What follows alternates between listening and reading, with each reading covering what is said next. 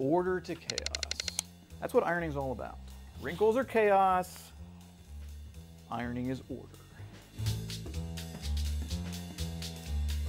All right, we're gonna do some ironing. I have my iron. My iron is uh, full of water. It's set at maximum steam setting and all the way up uh, temperature-wise. And it's a great ironing board because uh, it's very adjustable. I can set it at exactly the right height, which is about waist height. Start with the collar, right? So we lay the shirt down flat like this. I've got the collar flattened out like that. Take the iron and I just press out the collar.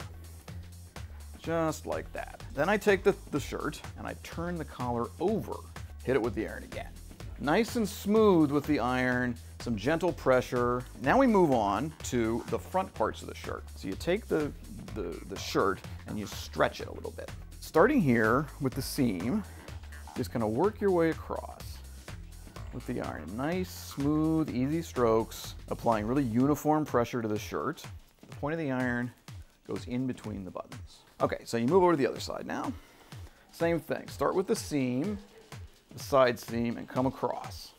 The shirt has a little placket along here, right? And you wanna be able to get underneath in there. You can neatly fit the iron, the edge of the iron right in there, and go across the placket on its own. Okay, so then I usually do the back. The center of the collar, right up here, is in the middle of the point at the top of the ironing board. You find a seam and you work your way down from the seam to the bottom of the shirt. Maybe on a scale of one to 10, I'm coming across with about a three. If I get down here to a hard wrinkle, I maybe take it to a five or a six. We have to just scooch it a little bit to get the rest of the back in. Find the seam on the side. I'm gonna line that up with the edge of the ironing board. Working your way toward the seam, just working those wrinkles out. I'm gonna use the other side of the board now. Same thing, the edge on the other side of the board. What a lot of people forget or sometimes overlook, it's this section of the shirt in the back here. And again, kind of working my way across, working my way across. Flip it around. And do the other side. Okay, so that section's done. Now we're gonna do the sleeves, right? Try to get it so that the seam is right on the bottom. There's no extra material, so you don't have that flipped over. All right, so same drill, start in the middle, kind of work your way out to the, to the seam. I'm using the point of the iron to get into these little hard to reach places.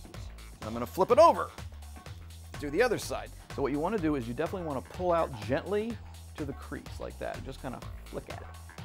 And then to just sort of cap everything off, I like to iron the cuff, hit it with the iron at the end, and just kind of work your way around like this.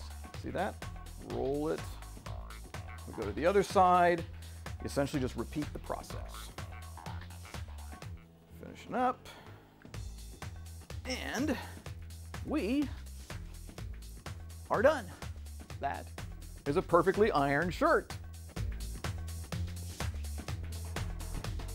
Beautiful.